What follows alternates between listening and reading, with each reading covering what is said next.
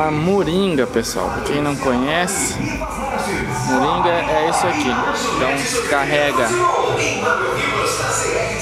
bota água normal aqui, água potável, aí fecha.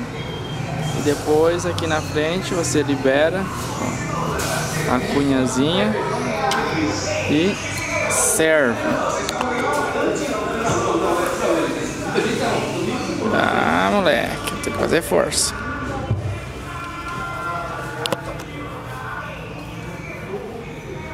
Fazer um enjambre aqui.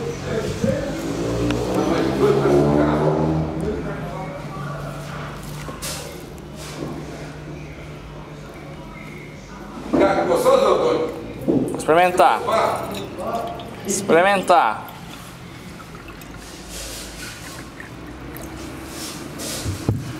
Aê.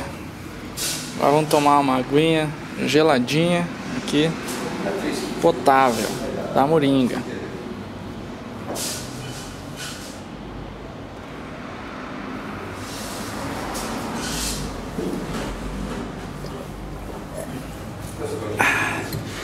Aguinha muito boa.